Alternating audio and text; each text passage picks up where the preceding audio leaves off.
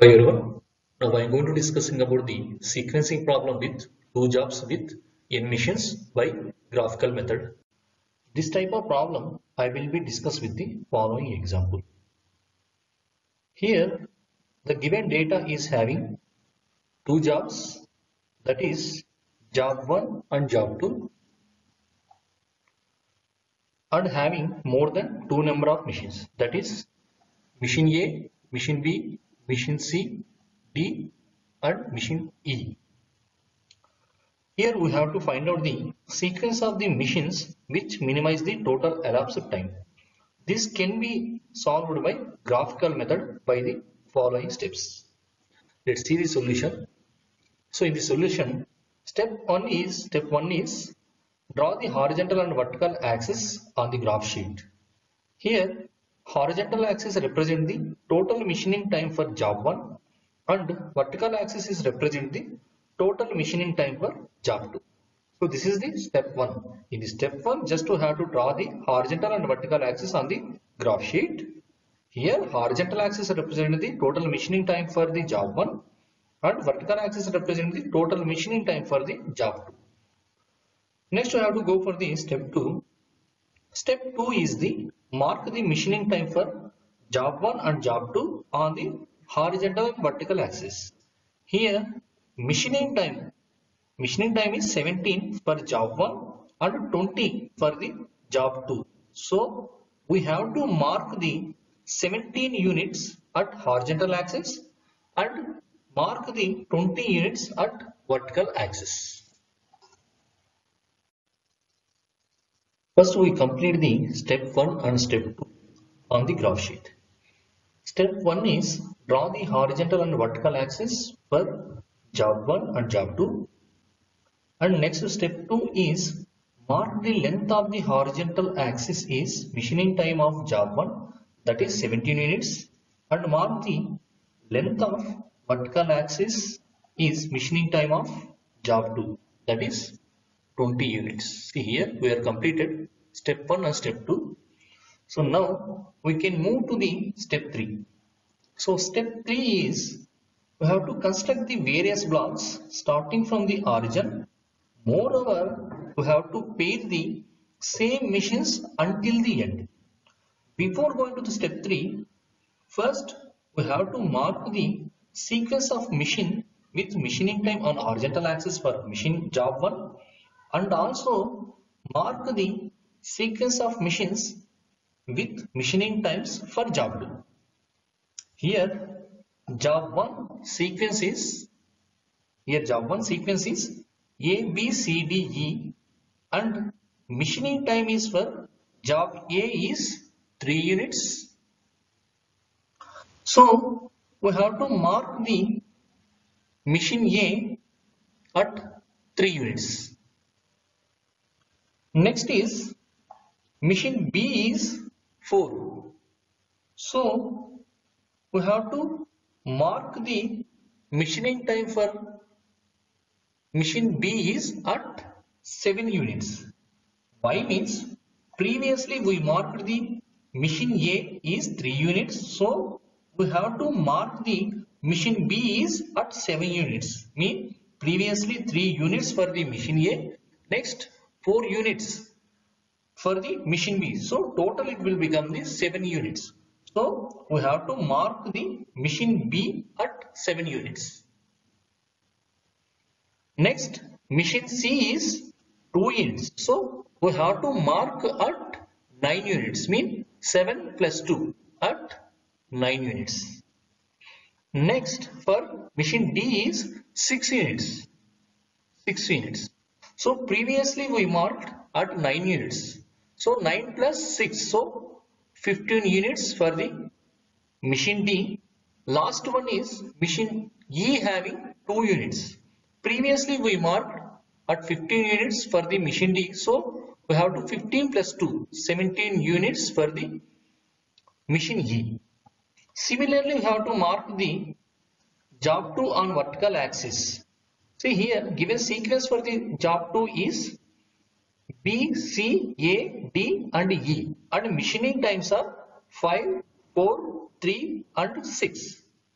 So we have to mark at 5 units for machine B. Next we have to mark 9 units for machine C. Y means 5 plus 4. Previously we marked 5 units for machine B. For machine C is 4 units. Mean 5 plus 4. So 9 units. At the 9 we are marking for the machine C. Next we have to mark at 12 units for machine A. 12 units at 12 units for the machine A. And next we have to mark 14 units for machine D. And we have to last we have to mark at 20 units for machine E. So next we have to draw the horizontal and vertical lines at the end of the machining time for respective machines for job 1 and job 2 like this. Just we have to mark the horizontal and vertical lines at the end of the machining time for respective machines. For example, A, B, C, D, E for the job 1 and B, C, A, D, E sequence for the job 2. At the end of the machining time for respective missions for job 1 and job 2 we have to draw the horizontal and vertical lines. So next is we have to pair the so next thing we have to pair the same missions for job 1 and job 2 like this. See here mission A for job 1 and and mission A for job 2 pairing by shading the common area. Just we have to shade the common area for machine A for job 1 similarly machine A for job 2 see here just to have to shade the common area. Just to pairing the pairing the same machines for the different jobs. What is the common area? Just to here shading like this. So next is we have to pair the machine B for job 1 and job 2 next we have to pair the Mission C for job 1 and job 2. Next to mission D for job 1 and job 2. Last one is mission E for job 1 and job 2. Next step is draw the diagonal line with angle of 45 degrees with horizontal axis from origin to end point. Here just remember the key point is we have to draw a diagonal line with angle of 45 degrees to the horizontal axis. The line should not cross the blocks. So it moves diagonally if there is no blocks and if there is any blocks is there then the line should be moved horizontal and vertically that is depend on the blocks area. See here first I am drawing the inclined line diagonal line with 45 degrees to the horizontal axis up to the 3 units. Now once again I draw the vertical line 2 units. Y means if you draw a, any inclined line or maybe horizontal line, it so it cross the blocks. So we have to add 2 units of vertical line. So next after complete the block, here after complete the block, once again I am drawing the diagonal line up to here. So up to here directly I am drawing a diagonal. Why mean? So it is not crossing the any any blocks. So next once again we have to draw a vertical line up to here. So y means if you draw a once again if you draw a diagonal line mean it cross the blocks. So once again from here to here I am drawing a vertical line. After that once again I draw a diagonal line up to here.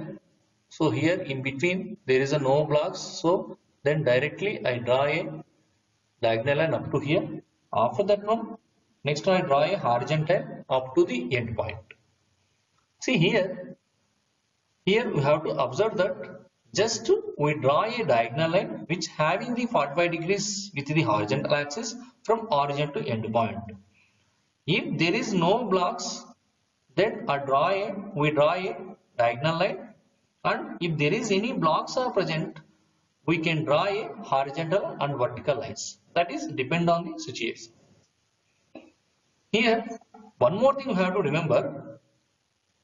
Horizontal line indicates the job 1 is under process and job 2 is ideal. And vertical line indicates the job 1 is ideal and job 2 is under process. And diagonal line indicates the job 1 and job 2 both are under the process. So next we have to determine the total elapsed time for job 1 that is processing time for job 1 plus ideal time for job 1. In the data given processing time for job 1 is 17 and we know that vertical line represents the ideal time for job 1. Here length of vertical line is here 2 units and here 3 units. So total ideal time is 5 units for the job 1. So total elapsed time is 17 plus 5 total 22 units. Similarly, next we have to determine the total elapsed time for job 2 that is processing time for job 2 plus ideal time for job 2. Here in the given data processing time for job 2 is 20 and we know that horizontal line represents the job 2 ideal time. Here ideal time for job 2 that is horizontal line is 2 units. So total processing time is 20 plus 2 so total 22 units. So thank you.